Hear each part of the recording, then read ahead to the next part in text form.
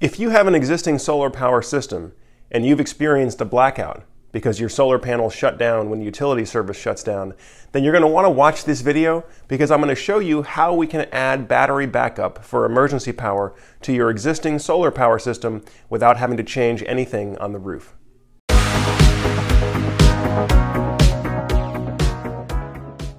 Hi everyone, Joe Ordia here for Solar Surge and for the past eight years, I've been helping families get their house set up to survive a loss of the electric grid. And we accomplish that in most cases using solar power with battery storage system, and in some cases with generator backup as well. Now the reason I'm doing the video today is uh, if you're an existing solar homeowner or you've been through the experience of having your solar panels shut down when utility power goes out and you're interested in looking at a way that you can add battery backup power to your solar system, that's what today's video is about. And the technique that we use to do that is called AC coupling.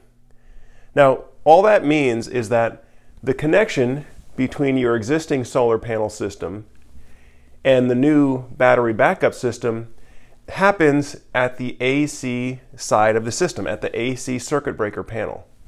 So let's walk through it. You have your existing solar panels, could be on the roof or could be on the ground.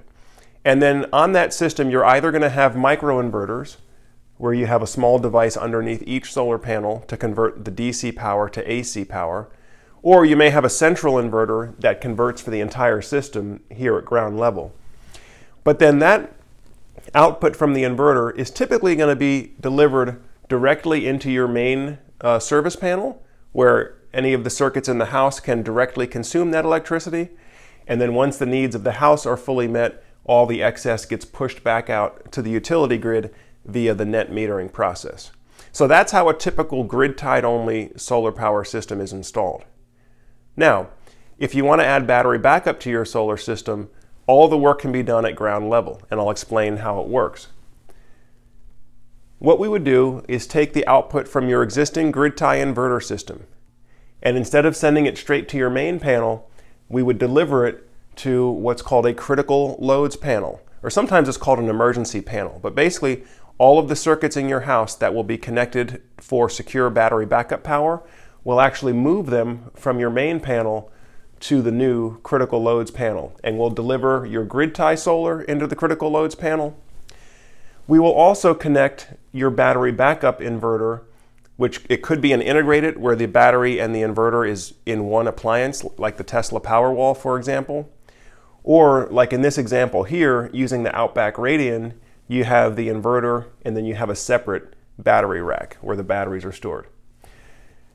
The output power for your battery hybrid inverter will also be delivered to your critical loads panel.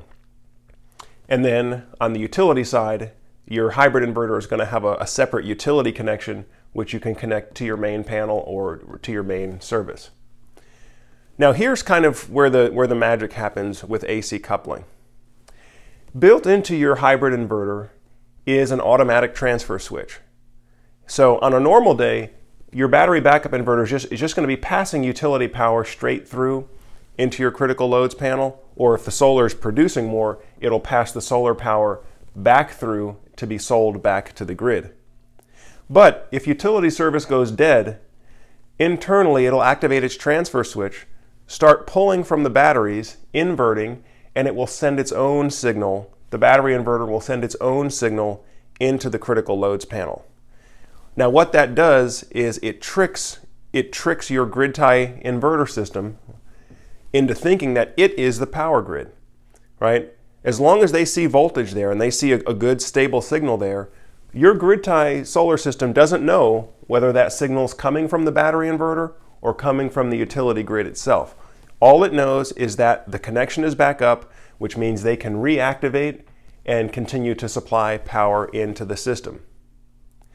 Now, if the solar panels are producing more energy than what the house needs and what the batteries needs to be recharged, the hybrid inverter will throw a frequency shift which basically it just simulates a slight instability in the grid, which activates the rapid shutdown on your grid tie system to temporarily turn off the solar power to prevent the batteries from being overcharged.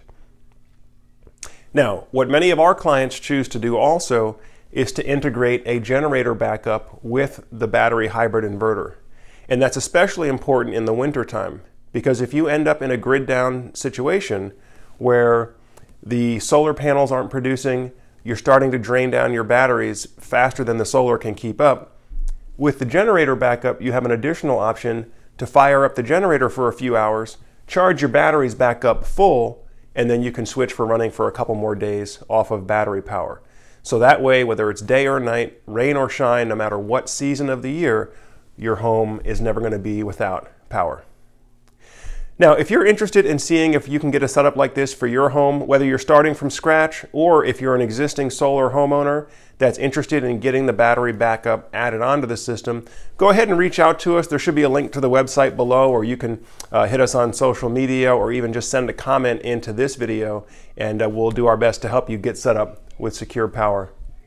As always, folks, if you're getting good value from the information that's on the channel here, make sure you hit that like button and hit that subscribe button.